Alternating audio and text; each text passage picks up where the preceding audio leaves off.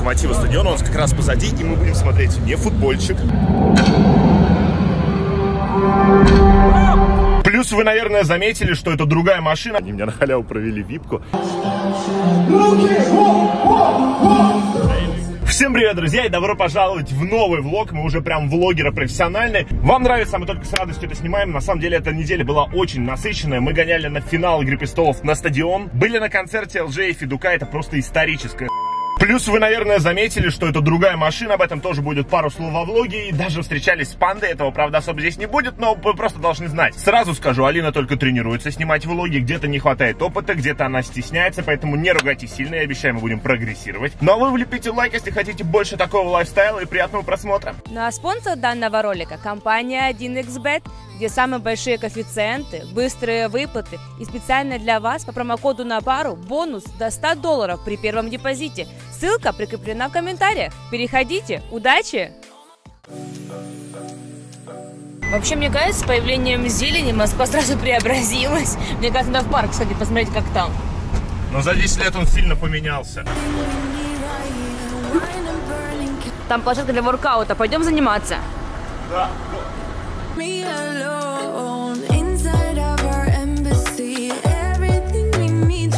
Six and a half hours later. Сразу извиняюсь, снимаем на телефон, ибо тащить э, камеру в клуб это очень странно. В общем, мы сейчас приехали в Soho Room на концерт Элджея и Федука. Спасибо моему агентству, они меня на халяву провели випку.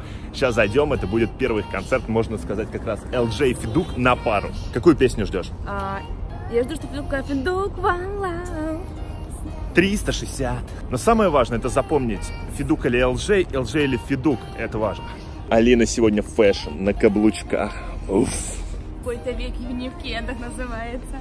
А я в пуме. Yeah, yeah, yeah.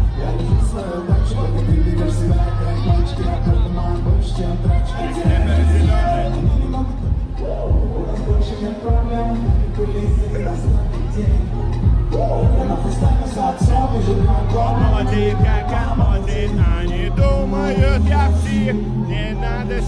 сюда прийти. Руки!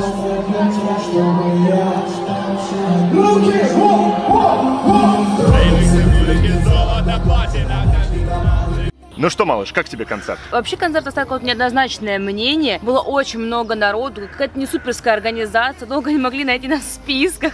Оказалось, Мы... что у блогеров свои списки, отдельно типа от ВИПа и так далее. Там на самом деле было очень много детей, вот серьезно, то есть ребят 14-16 да, меньше, лет. мне кажется, да. были дети. Но и было очень много известных блогеров, не фиферов, а именно вот блогеров крупного типа масштаба. Катя и тому, и тому подобное. Наши любимые. Да. Максим был счастлив. Но вообще, если сравнивать выступление LJ и Федуга, то Федук в жизни проведет намного лучше, чем LJ.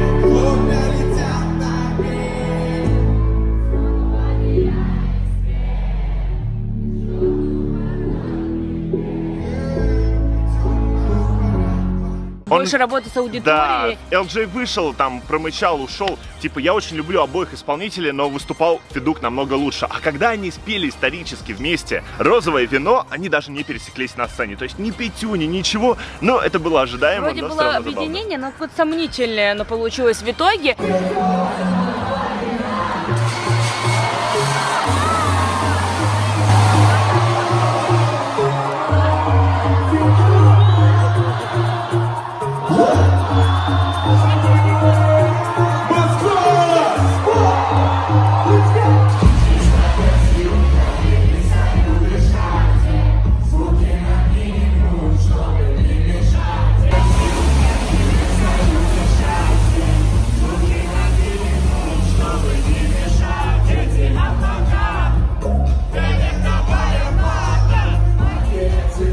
Мы сейчас в лесопарке, тут птицы, там мертвый голубь, там, там белочка. В общем, нормально. Вообще, залу понравилось, конечно, выступление. Все снимали, орали, кричали. Мы протусовались до 5 утра. Давно у нас такого не было. Тряхнули стариной, скажем так. Вообще, блогерам быть круто. Нам предоставилась уникальнейшая возможность побывать на финале Игры Престолов на РЖД-арене. Let me show you what a good time looks like. You can't do Сегодня мы на стадионе РЖД Арена, это Локомотива стадион, он как раз позади, и мы будем смотреть не футбольчик, а что? А финал Игры Престолов. Вообще, мне кажется, это очень круто, потому что настолько масштабный сериал, и финальные серии серия будет на таком огромном стадионе с огромнейшим количеством народу. Мне кажется, это очень круто.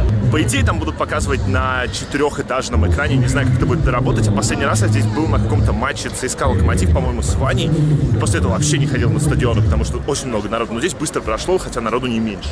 Но вообще сегодня весь день была миссия невыполнима, не начитаться спойлерами, не узнать, чем закончилась серия, потому что это бы безумно было обидно, если мы пришли уже знали, какой конец. Зима же... Нет.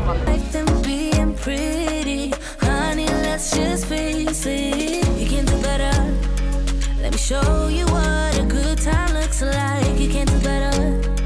So much better. Лорды и леди, приветствую вас. Сегодня мы станем свидетелями финала. Мы уже на арене.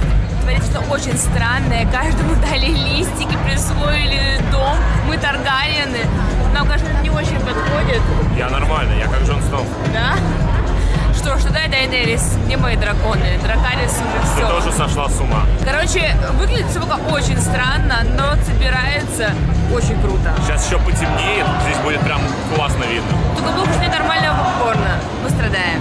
Очень странно, ведь все же 8 лет вместе. Я буду скучать.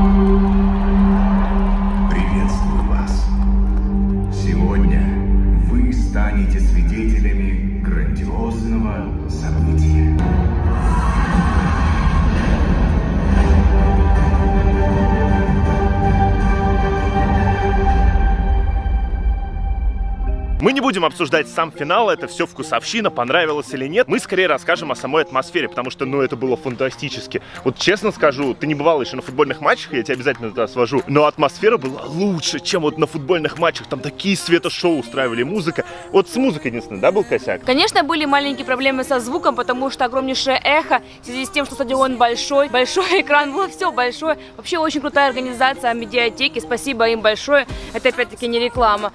Ну, ну как, я ее рекламировал, но здесь нас не просили. Самое крутое, что помимо всего прочего еще была подсветка прожекторами. Всякие клевые моменты, и люди кричали, хлопали, комментировали. Но и вишенка на торте был в конце оркестр, настоящий, огромный, где вышли девушки в средневековых платьях. Джон Сноу там был. И они играли саундтрек к к сериалу. Очень круто.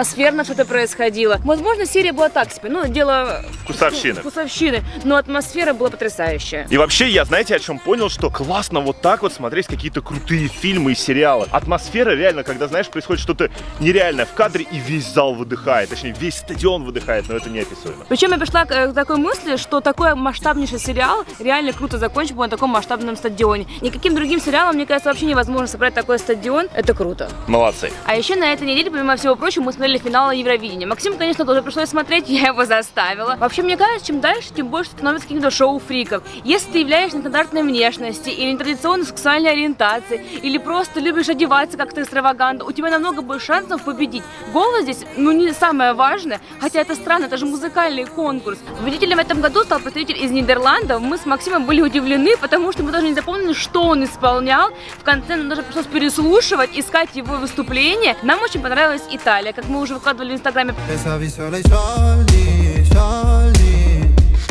Нам показалось, что самая запоминающаяся песня, и это единственная песня, которую нам захотелось скачать. По поводу выступления Сережи Глазера все, конечно, восторгались, поет он, конечно, красиво. Но лично мое мнение, его номер не очень запоминался на фоне всех остальных, но самый, конечно, трэш, который был, это Исландия и Франция. Что это вообще? Остановитесь! Остановитесь!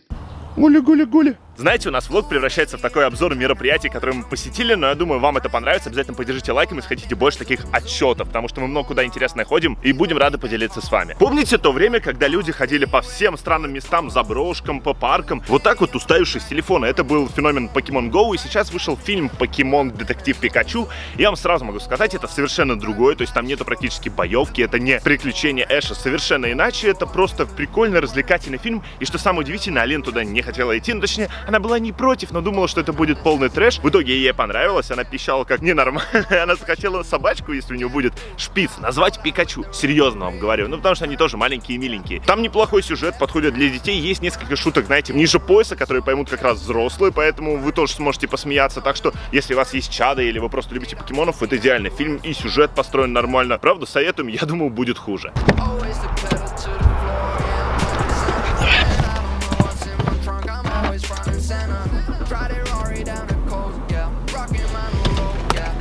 На самом деле мы иногда с Алиной подумывали о том, чтобы купить другую машину, потому что купешка, купешка, кабриолет, конечно, все прикольно, но она маленькая, в ней не помещаемся мы, плюс Алина боится на ней ездить, хочется, хочется что-то побольше, все-таки девушки, вы знаете, любят как раз кроссоверы.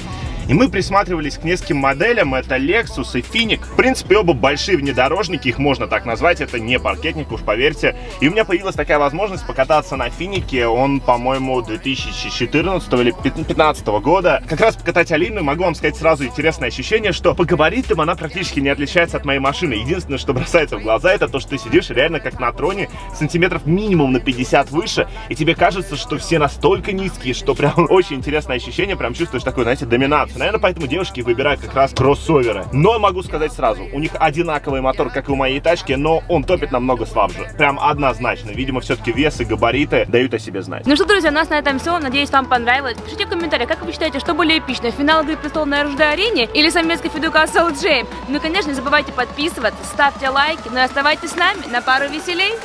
Пока!